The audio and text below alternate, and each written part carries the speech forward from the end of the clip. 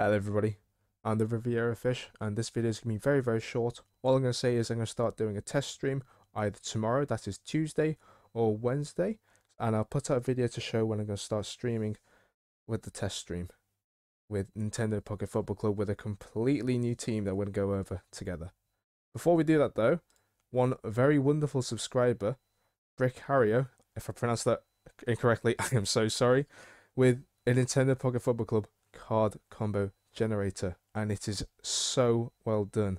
If you look at this, if you hover over each of the individual components or the cards, you get to see which one it is. And if you click them, so let's say just these two, for example, you get to see all the different card combos you can make with the cards that you currently have. So if I were to just press all of them, every single possible combination would be listed here. And that's absolutely wonderful.